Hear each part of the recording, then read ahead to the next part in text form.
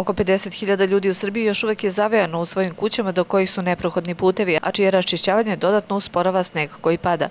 Kako su najavili meteorolozi, narednih dana očekuje se oblačno vreme sa snegom, a u planinskim predelima Vejavica i povećanje visine snežnog pokrivača za 10 do 30 cm.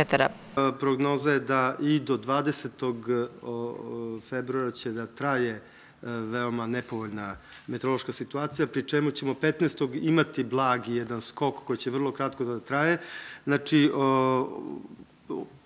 Temperatura će se kretati e, maksimalne od minus 11 do minus 6, od minus 10 do minus 7, znači to su maksimalne temperature, minimalne temperature će biti i e, minus 16 e, do minus 11 stepeni, znači mi ćemo i dalje imati probleme sa grejanjem, sa energentima i sa drugim stvarima. Padavine koje će se desiti u narodnom periodu nisu onakve padavine koje su praktično blokirale celu Srbiju, znači mi ćemo imati već ovog vikenda padavine, ali to su padavine koje donose 5 cm snega do 10 cm snega, što nije dramatično u ovom pogledu. Znači, ono što mi smatramo da je veoma važno reći, mi dajemo dnevne uh, update naše prognoze, gde je i dalje uh, po našim kriterijuma klimatološkim i onim koji su vezani za štete koje su do sada nastale u takvim sličnim situacijama, na snazi veoma opasna meteorološka pojava koja može da izaziva uh, velike materine štete, međutim i ljudske žrtve.